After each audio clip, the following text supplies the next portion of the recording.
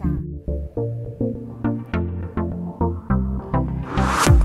Hello សួស្តីអ្នកទាំងអស់គ្នាអឺ សង្ឃឹមថាអ្នកទាំងអស់គ្នាប្រកាសជាសុខសប្បាយទាំងអស់គ្នាទេ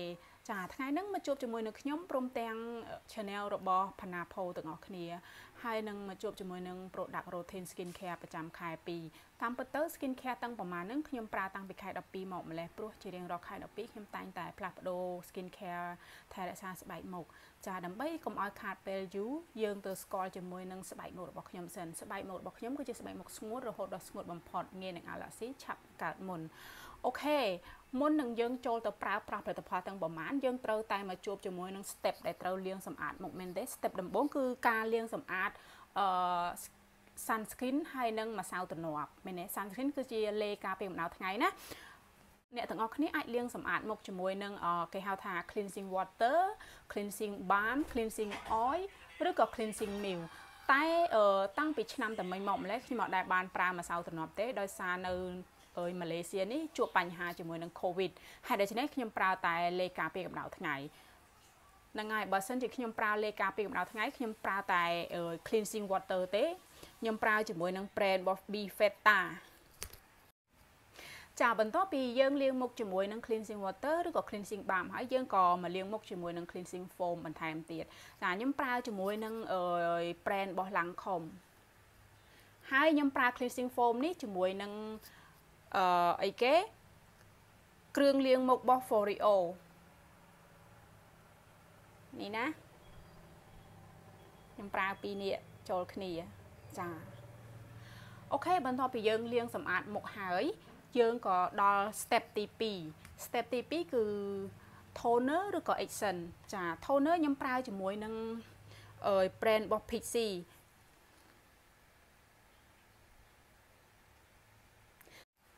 ចាបន្ទាប់ពី toner របស់ Pixie ហើយយើងក៏ចូលមកដល់ Exen របស់អឺ brand Biotherm Light Pattern Exen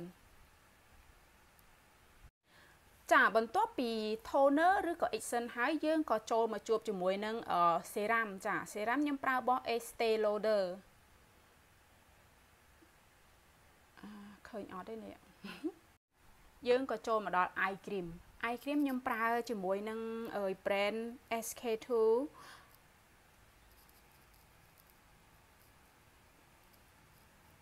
បន្ទាប់ពី eye cream យើងក៏ត្រូវចូលមកដល់ cream ហើយក៏ជា step ចុងក្រោយដែរចា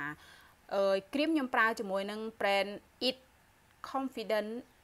in a cream ខ្ញុំមិនដឹងថាអ្នកទាំងអស់គ្នាមើលឃើញច្បាស់អត់ទេនេះចាខ្ញុំប្រើរបស់ It អូបើសិនជាពេលព្រឹកខ្ញុំសូមបន្ថែមដោយអឺ Anessa Perfect UV sunscreen skin mew SPS 50បូកបូកបូកអានេះខ្ញុំប្រើតែពេលព្រឹកទេណានៅពេលដែលយើងលាបគ្រីមលាបអីហើយយើងប្រើអឺអានិសាព្រោះអានិសានេះវាមាន SPS ជួយការពារកម្ដៅថ្ងៃដើម្បីកុំឲ្យមុខយើងជួបបញ្ហានឹងកើតអាចរុយឬក៏ជាំអញ្ចឹងណាហ្នឹងហើយតែបើថាពេលយប់អ្នកទាំងអស់គ្នាមិនបាច់ប្រើទេឬនៅពេលយប់យើងបញ្ចប់ដោយគ្រីមហើយយើងចូលគេង ផលិតផលថែរក្សាស្បែកមុខប្រចាំខែ2នេះមានតែប៉ុណ្ណេះឯងបើសិនជាអ្នកទាំងអស់គ្នាឆ្ងល់នៅផលិតផលមួយណាអ្នកទាំងអស់គ្នាអាច comment នៅតាក្រោម clip វីដេអូហ្នឹងឬក៏អ្នកទាំងអស់គ្នាអាចជួយកด like កด share ព្រមទាំងជួយ subscribe កុំភ្លេចចុចឬកណ្ដឹងផងទទួលនៅ clip វីដេអូថ្មីៗដែលខ្ញុំ upload នៅក្នុង YouTube channel របស់ខ្ញុំចាសូមអរគុណដល់អ្នកទាំងអស់គ្នាហើយក៏អឺជូនពរអ្នកទាំងគ្នាជួបតែសេចក្តីសុខសេចក្តីចម្រើនទាំងអស់គ្នាបាយបាយ